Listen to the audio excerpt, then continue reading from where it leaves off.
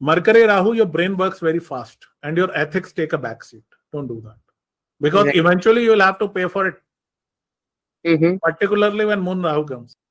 Uh, so if you would like to share your experience of uh, Rahu Mercury, I think we would like to hear that. For me, Rahu Mercury was particularly a difficult time, probably because of their placements in my chart. That might just be the case. Uh, so I had a very, uh, um, you know, there was a time where uh, I went into a lot of contemplation as to what am I doing with life, why am I here, those kind of things. So for me, it was very introspective, is what I'd say. Definitely lesser introspective than Rahu Ketu. But still, I mean, the mind was always uh, questioning as to why am I here? What am I doing? Both on the personal and the professional front, for that matter.